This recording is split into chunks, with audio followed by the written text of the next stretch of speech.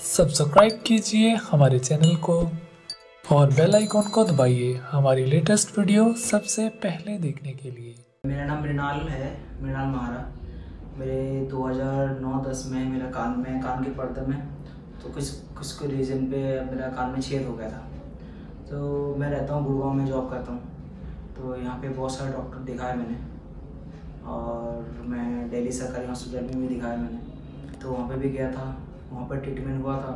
कुछ दिन ठीक रहा, फिर उसके बाद फिर दोबारा वो ये कान भारीपन, चक्कर आ जाना साउंड बहुत ज़्यादा तेज़ इस लेफ़्ट कान पे।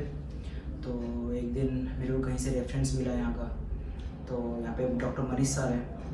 और डॉक्टर मनीष सर ने मेरे को देखा, उन्होंने बोला कि तेरे को अंडरस्कोपी सर्जरी करना है, क्योंकि पर्दा तेरा डैमेज हो चुका है। और सर ने किया और मेरे को अभी बहुत अच्छा फील होता है, मेरे को कोई प्रॉब्लम नहीं है। पहले से जो जो प्रॉब्लम था, मेरे को चक्कर आ जाना, कमज़ोरी साउंड बहुत तेज, मैं ऐसे कान दबा कर रखता था। और मनीष तो मेरे लिए ऊपर बड़े की दुआ से मैं मेरे को मनीषा ने बहुत हेल्प किया और जिससे सब सर्जरी किया। और मेरे को अभी बहुत अच्छा फील करता हूँ। जस्ट नॉर्मल रूटीन चेकअप के लिए आता हूँ सर के पास। और thank you many sir. Thank you my hospital for courteous staff and very staff are very polite and uh, i'm very happy with uh, dr manish sir and his team. Thank you so much.